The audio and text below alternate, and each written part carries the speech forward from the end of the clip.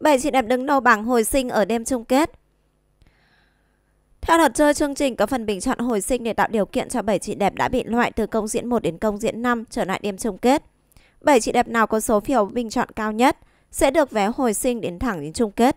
Sau những lần kêu gọi khán giả kịch liệt, cuối cùng danh sách hồi sinh cũng đã được chốt. Chị đẹp nhận về số phiếu bầu cao nhất bao gồm Quỳnh Nga, Nguyên Hà, Thanh Ngọc, Hương Ly, Yến Trang, Đoan Trang, Huyền Baby. Nhiều khả năng những chị đẹp này sẽ được vào chung kết. Như vậy, khả năng Yến Trang trở lại sau khi nằm cộng đồng mạng dậy sóng có thể xảy đến. Tại vòng công diễn 1, dù có biểu hiện nổi bật nhưng Yến Trang vẫn phải ra về với lý do khán giả bình chọn ít cho cô. Chính điều này đã làm mạng xã hội dậy sóng, nhiều người cho rằng kết quả này không công bằng, lộ rõ sự chèn ép đối với Yến Trang. Nói về việc bị loại Yến Trang có phản hồi, cảm ơn các bạn, khán giả đã luôn bên cạnh theo dõi và ủng hộ Trang trong suốt hành trình thanh xuân cho đến bây giờ. Khi dừng lại không có nghĩa là Trang bỏ cuộc, mà Trang sẽ lựa chọn một con đường khác phù hợp.